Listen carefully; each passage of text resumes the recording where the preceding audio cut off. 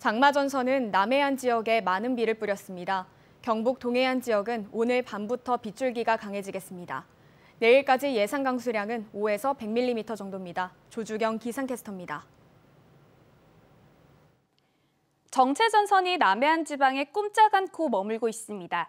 현재 경남과 전남 지역 곳곳으로는 호우 경보까지 내려졌는데요. 경북 동해안 지역에는 경주에서만 호우 예비특보가 발표됐습니다.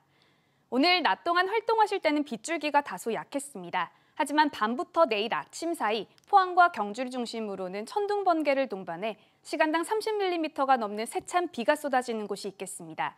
긴장의 끈 놓지 마시고 대비 철저하게 해주시는 게 좋겠습니다.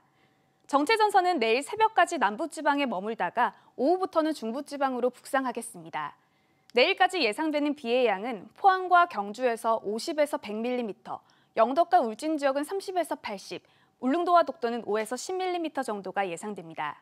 이어서 자세한 내일 날씨 보시면 내일도 후텁지근하겠습니다. 아침 기온은 21도에서 24도 분포로 시작하겠고요. 한낮 기온은 울진이 25도, 포항과 영덕 28도, 경주 30도까지 오르면서 오늘보다 낮에는 조금 더 덥겠습니다. 울릉도와 독도는 오후부터 흐리겠습니다. 아침 기온은 21도에서 22도 분포로 시작하겠고요. 한낮 기온은 울릉도 25도, 독도 24도 선에 머물겠습니다.